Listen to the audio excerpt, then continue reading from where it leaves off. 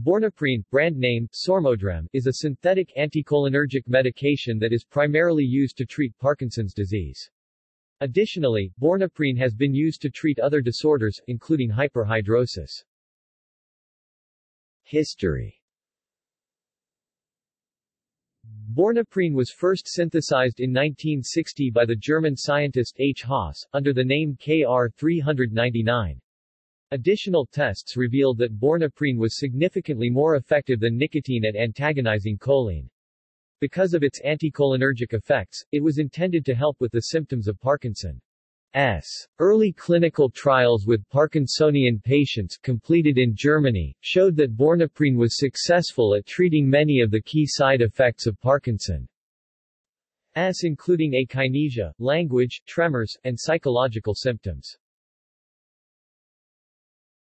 Pharmacodynamics Bornaprine is an antimuscarinic agent that non-selectively antagonizes muscarinic acetylcholine receptors, M1 and M2. Bornaprine has been characterized as a very potent anticholinergic medication and further clinical trials have indicated its effectiveness at treating Parkinsonian tremors. Bornaprine also has a Pa2 value affinity of antagonist for receptor of 7.27 plus or minus 0.21 indicating a high potency. Pharmacokinetics Absorption Bornaprine is successfully absorbed into the plasma of humans within 1 to 2 hours after an oral dose. Additional oral doses of Bornaprine resulted in some accumulation in the plasma. Excretion Single oral doses of Bornaprine were successfully excreted in urine and feces in rats, dogs, and humans.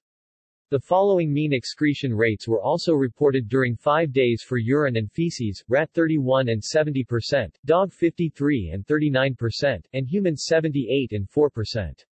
Excretion was notably prolonged and incomplete at 5 days in humans, indicating a longer half-life and metabolism rate of bornaprine for humans. In human subjects, bornaprine has a half-life of approximately 30 hours compared to 5 and 12-hour half-lives in rats and dogs, respectively. Metabolites Bornaprine is an epimeric mixture of exo and endoesters, and its major metabolites have been identified and include three isomers of monohydroxy N-decyl sormodrin, three isomers of monohydroxy sormodrin and 5-hydroxyl. Each of these metabolites were hydroxylated at either C5 or C6 in the bicyclic ring. The activity of each of compounds has been studied extensively and 5-hydroxyl showed similar anticholinergic activity to the parent compound when tested in isolated rat atrium unlike other identified metabolites. Availability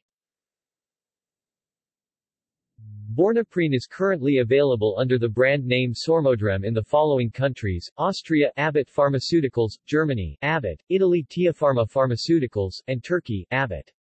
Bornaprine is normally administered in a tablet form, however a recent patent is investigating the effect of several anticholinergic drugs, including Bornaprine, in transdermal patches. These patches are not currently available to the public market. Bornaprine is not currently on the market in the United States and its clinical trial status is unknown. Treatment Parkinson's disease like many other anticholinergic drugs, Bornaprine had been used to treat the symptoms of Parkinson's disease. Bornaprine most effectively treats the tremors associated with Parkinson's and also helps bradykinesia, hypokinesia, and posture and facial expression. Hyperhidrosis Hyperhidrosis occurs in acute phase of spinal cord injured patients and an effective oral treatment for hyperhidrosis has yet to be perfected. A recent study done with patients with medullary lesions found Bornaprine to be very effective in decreasing the amount of sweating in patients with minimal side effects. Bornaprine is now commonly prescribed for treating hyperhidrosis in Europe. Sleep When administered to healthy humans, bornaprine suppressed the amount of REM sleep, suggesting that the M1 and M2 receptors are involved in sleep increase and REM latency. This also suggests that bornaprine may be able to be used as a sleep aid in the future. Side effects Since bornaprine is a potent anticholinergic drug, it has a similar side effect profile to other anticholinergic drugs, including dry mouth and constipation. Additionally, when bornaprine was administered to patients with secondary Parkinsonism, few patients reported transient confusion. Toxicity LD50 tests performed on rodents revealed that 26 mg per kilogram intravenously and 112 mg per kilogram subcutaneously administered amounts of bornaprine were toxic. Subcutaneous application resulted in ataxia, spastic paralysis, and convulsions. References